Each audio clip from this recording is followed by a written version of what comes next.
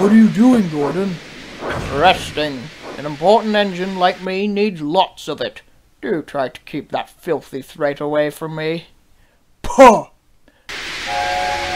Hang on. That sounds like an engine. How can it be? No engine's supposed to come through here for at least another hour.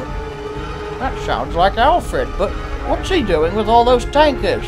At long last, my revenge is about to be completed! Oh crap, he's on the same line! Oh, Gordon, Henry, you have a very important passenger to meet today, and his name is Lucifer!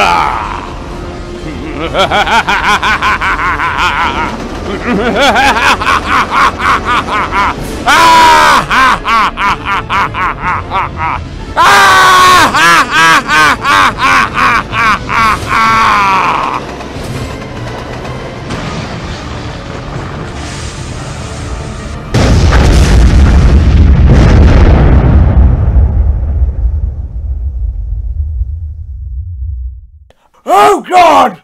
Oh my god! What the hell just happened?